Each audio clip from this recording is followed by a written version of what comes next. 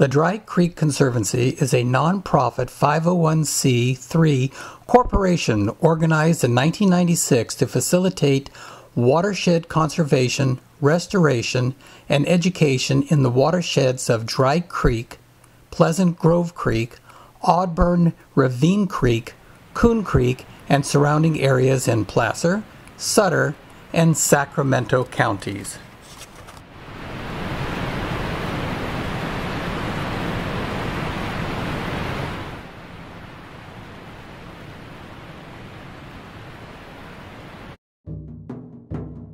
The Nisenan, or southern Maidu, enjoyed an Eden of fresh fish taken from the Sacramento Valley watershed. Runs of king salmon in both spring and fall, followed by steelhead from fall through early spring. Pacific lamprey was also enjoyed each spring. In 1970, 600,000 Sacramento Valley Chinook salmon returned from their ocean odyssey to spawn in our Sacramento Valley streams. In 2008, only 200,000 returned. Dams, pollution, introduced predators, urbanization, and the resulting destruction of salmon habitat have all contributed to the collapse of the salmon population.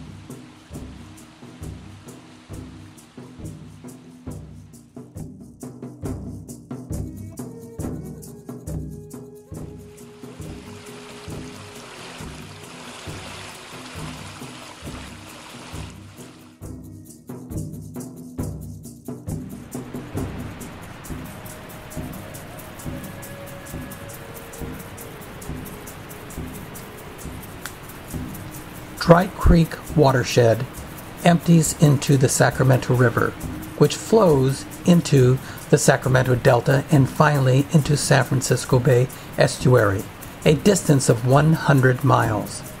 The salmon fry must then exit San Francisco estuary and into the Pacific Ocean.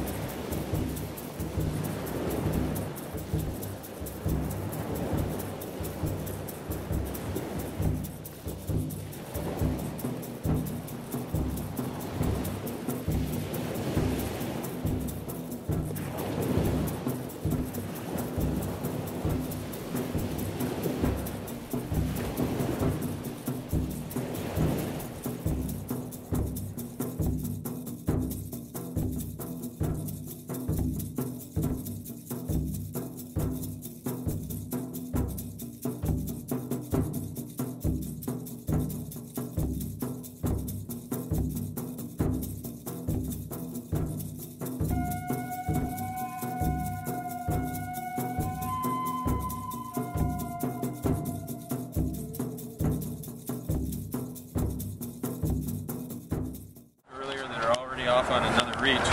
We're seeing a lot of fish this year, a lot more than usual, and um, or not a lot more than the last few years anyway. About a week ago, um, somebody walked through Roseville and saw about 75, and then, uh, but recently in the last week they've started to drop off. So we might see some carcasses. Um, we have a big change over here this year. Secret Ravine, we fixed a barrier so the fish are getting upstream a lot. Auburn Ravine has um, a fix on a barrier in Lincoln, so um, although there haven't been a lot of fish seen there this year, uh, from now on they'll have free passage up that way. So a lot of good things are happening. Um, so let's look look at this uh, this thing here. Everybody, so everybody should have a packet to go with your reach, and then you should have some of these forms which you have to get there. Oh, so this form is divided into four sections. The field condition, the live fish, the redds, and the carcasses. So that's what we're looking for.